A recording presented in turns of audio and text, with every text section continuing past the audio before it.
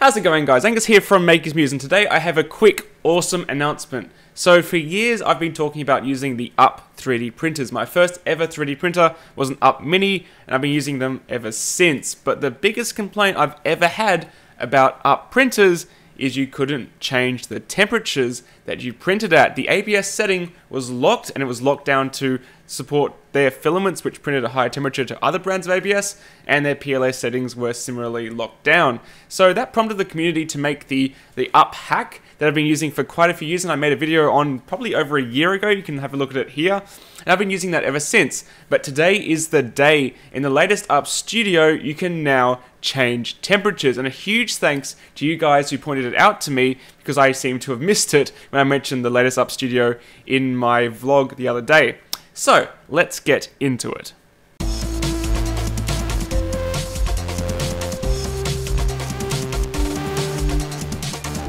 Alright, so what I have here is the new Up Studio from Tiertime. So this is their new 3D printing software and it's designed to work with the Up 3D printers. So it'll work with any legacy Up and it'll also work with the new Ups, which would be the Up Mini version 2 with Wi-Fi. And I'm looking forward to testing one of those out soon.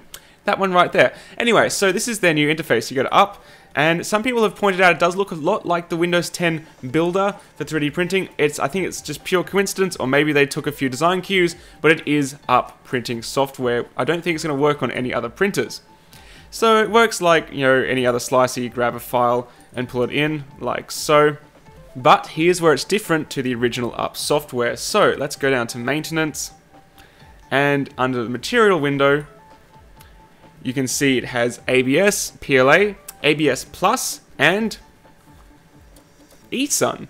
How did eSun get in there, you might ask? Well, I added it, and I'll show you how it works. So you go to Customized, and you need to sign into your account. So this is one thing some of you might not agree with. You need to have an account to make custom profiles, but I think that might mean it links it to other computers when you log in and it keeps track of your printers. I'm not exactly sure what the login entails, but you do need to make an account. So to log in, you just go to the top here in the top right and to my account.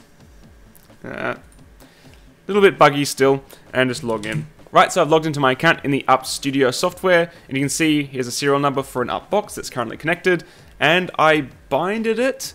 I don't know what that actually means. It doesn't seem to. I don't. I don't know Maybe no one else can use that printer if you bind it to that account. I don't know. I'd like to get a response, and I will tell you guys more once I learn more about how the software works. But anyway, regardless of that, let's go back to our printing interface, and let's go back into maintenance. So now I've logged in, I can go under the material and customize, and here is our customize window.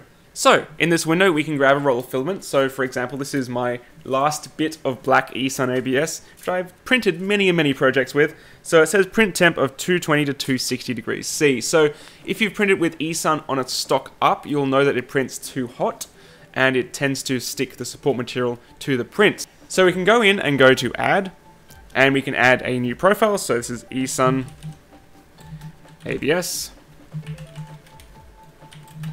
Okay, it doesn't let you add more than a few characters. Okay, let's just go with eSun for now. So it might be a bit confusing if you have eSun, ABS, and PLA, but I think the PLA setting should work for anything. Maybe.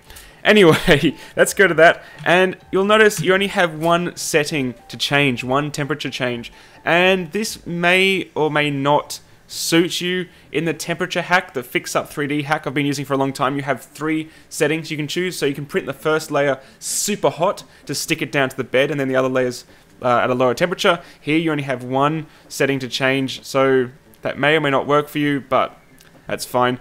And you can see here you can set the platform temperature as well, so let's go with 90 because it's an ABS. But you can see also ABS Plus, 274 degrees C. That is crazy. And just in case you're wondering how hot you can push the ups now, well, have a look at the extruder design. So this is the hot end on an UP 3D printer. It is an all metal design. There is no PTFE tube through it. It's just metal, which means sometimes printing PLA it can bind up, but it also means this can get hot. How hot, you might ask? Well, I was talking recently to the guys at 3D Printing Systems who distribute the ups around Australia. They tested their ups to 300 degrees Celsius for a few minutes. They didn't print anything at that temperature, but they did make it heat up to that temperature, which is nuts. Will that damage your printer? Probably. It's pretty hot, but yeah, the fact that this little thing can get up to that temperature and there's no PTFE to degrade at that temperature is pretty crazy. And of course, you can make as many profiles as you like. So you can make, you know, this one which prints at maybe a very low temperature uh, PLA with a 40 degree bed. Let's do that, and maybe another one here. And then once you've done that, you know, let's let's try 300. That's my crazy 300 degrees one with 90 degree bed. And once you've done that, you can save them. And under your material drop down list, when you're logged in, they will be there.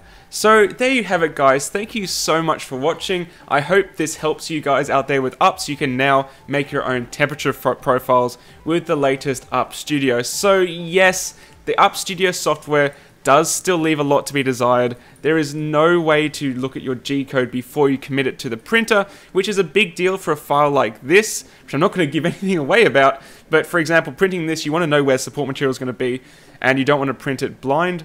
That's where I really think this software needs a G-code preview, but other than that, it's the same as the old Upsop software, just with a different layout.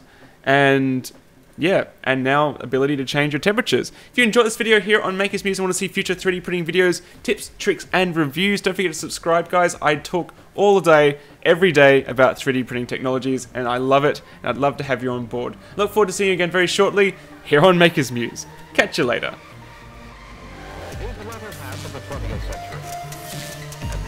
Sent rockets into deep space. He has placed satellites into orbit. and He has actually walked in space.